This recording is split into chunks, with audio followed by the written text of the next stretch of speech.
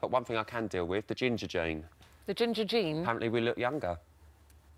Ginger people look younger My than what mum's they here. are. Look, my mum's 84 and she looks fantastic. Your mum looks She's- amazing. She's I- a well, redhead. I'm, I'm 48, but I think I look great. Yeah. I'm a redhead as well. I There's just my cover it mummy. up. Look, there's my there she, mummy. there she is. Ooh. there she is.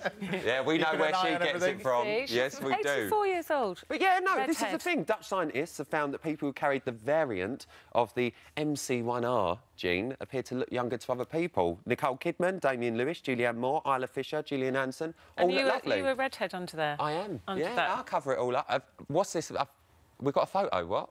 What, of Jen, have we got a photo of Rylan? We haven't. With red hair? From where? Go on then. Oh, you states. not- I'm going home.